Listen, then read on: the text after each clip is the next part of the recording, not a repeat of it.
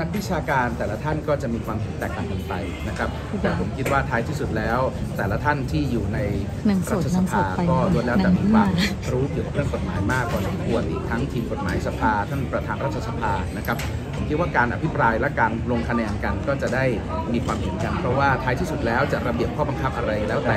สามารถใช้ที่ประชุมของรัฐสภานั้นเอ่อโหวตลงคะแนนกันได้อีกครั้งหนึ่งนะครับ ก็เดี๋ยวอีกสักครู่คงต้องไปหารือกันในพักด้วยนะครับขอบ ครับครับ